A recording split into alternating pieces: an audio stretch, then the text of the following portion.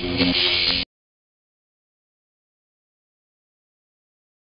what's happening? One four for the good and Mo B. It's your boy Timo to the fullest. Yeah. Yeah, man, Mo Goodie, man, attended that Morris Brown College, man. I'm a third generation Brownite. You know what I'm saying? My grandmama went there and my mom and daddy, man. So, you know what I mean? I'm Brownite till I'm up out this thing. Holler at your folk. And give back to Morris Brown, because we need to open the doors back up, man. We need to get the football team back up out there, man. We need to get the band back out there. And know that I'm doing everything I can, man. We giving plenty money to them boys, man. Every year, man, trying to make this thing happen. It's coming back. We coming back. Morris Brown College, folk. Yeah. Man, Moby, man, when I went there, man, I went there. I'm sorry, man, for y'all young cats, man, but hey, man. Mo Goodie went there, man, during the livest time, man. It just really was, man.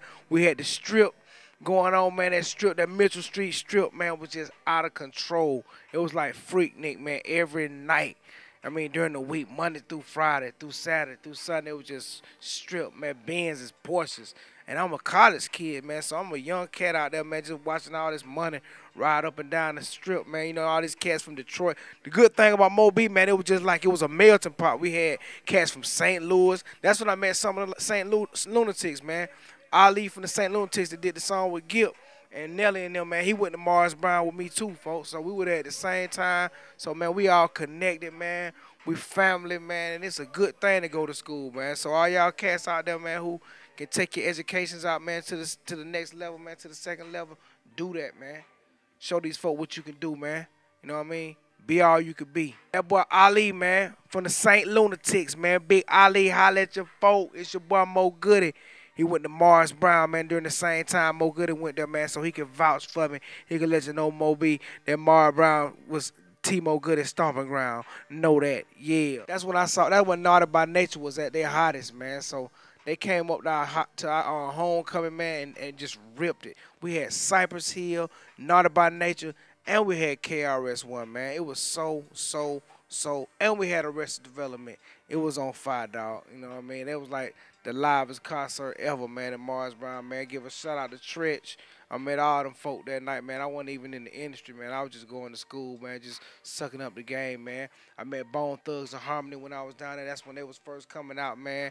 You know, it was just so hot, man. It was just so, so much love in the air, man. It was a good thing, man. Like I say, man, being a Brownite, man, it's an honor, man, to be a Brownite, man, because that's, that school was founded, man, by blacks, man, in the AME church, man, in the basement, shawty. Represent, yeah. Let me give another shout out, man. Who else I know went to Morris Brown? Um uh, JT Money cousin, man, Tony. Hey man, Tony man, he, he, hard man from Miami, man. He a real a representative, dog. It's not it's not but a few representatives out there, man. He definitely one of them, man. big shout to my boy Big Tony, man. Miami Dade County. Uh, let me see who else I got, man. Just going to school, man, you just get a chance to meet a lot of people from different regions of the world, man. Different regions, man. I mean, not just the United States, but the world, man. I was meeting girls, man, straight up from South Africa, man. I remember my home girl, Suzie. Suzie, man, from straight out there West Africa, man. You know, that that's where that, that were um um um Alex, Alex Gideon, they from uh, West Africa, man. Big shout out to Alex, man. AG Entertainment, man. They show they show Mo Goodie so much love, man. Thank y'all very much, man. At the back door, when there's thousands of people back there, man, and y'all let Mo Goodie through all that bullshit, man. Thank you very much, man. I appreciate that. And Mo Goodie Major man was a hotel restaurant management man. I was gonna try to open up me a hotel man. Actually, I had an aunt man that owned a hotel man in Jamaica man, but she died man. So Mo Goodie kind of faded away from the hotel wishes for a few minutes man. You know, I might I might end up building one man, but right now man, Mo Goody been studying man this real estate man. I want to give a little a little a little inside knowledge man to y'all cats out there man that's trying to make some money man.